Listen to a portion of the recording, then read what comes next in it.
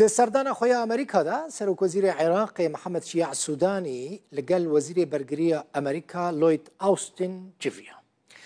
د ناوەوەی جوینێدا گوتوبێژ لەسەر گەلک مژاران هاتەکردن مژارێن گریدای عێراقی گریدای کوردستانê هەروەها پرسا vegera عێراقیên ku li kampên hol û roj yên rojevayê Kurdistanê girtîne ew ji hata rojevê.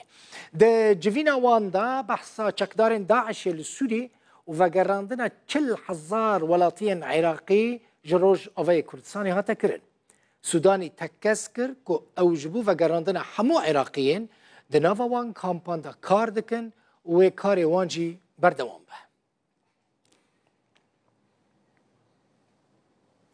Wezîrê derve yê İsraîlê dibêje ew ê hem bersiveke leşkerî bidin Êranê و همجی سوپا پاسدارین ایران بخن ناوا لیست رقصنین تروریست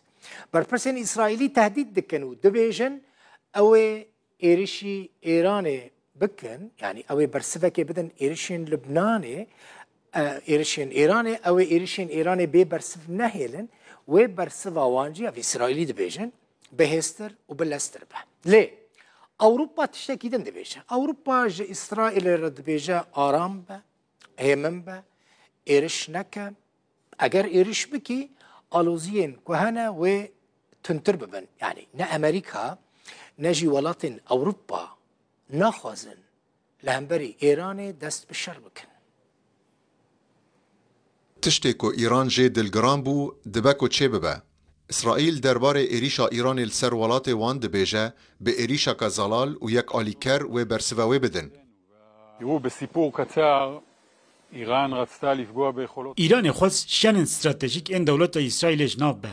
او یک بری قد چنه بویه ام دناب پینگاوا بیده ده فکرن او ایریشا ایران السر اسرائیل قد بی برسب نمینه ایران بری و پشتی ایریش آل سر اسرائیل تکزیل سرویه که کریه که او نل پیزه دابونا آلوزیانن و نل گلوانن جی جمهوری اسلامی ایران به دنبال تشدید تنش در منطقه کمارا اسلامی ایرانی نه لپی زیده بونا آلوزیا نه لنافچه لی ده هر دمکی ده زیده تر ده هشیار کرنا دجمن و دستدریجی کاران ده بهستره جارك دن لتهراني سلوغانا مرن بو امريكا و اسرائيل هاتا گوتن بسدان خوپشندار کومبون و با آهنگک کلجان و سرودن اولی گفل اسرائیل خوارن وی کسی پوسترک بلند کریه که به عربی لسر نویساندیه روژا طول هلدانه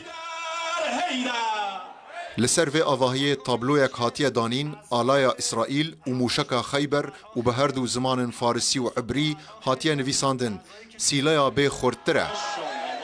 اف گهدریج به آلایا اسرائیل و سلوگانا مرن بوی ولاتی هاتیه پیچاندن